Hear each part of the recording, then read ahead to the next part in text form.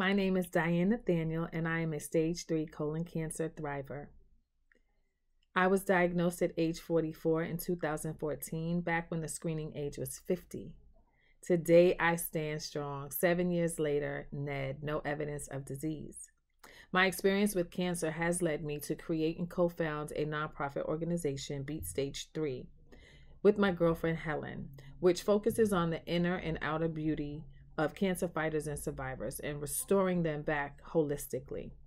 We also engage in advocacy efforts that ensure quality, affordable, and accessible health care for all. March is Colon Cancer Awareness Month, and we are raising awareness.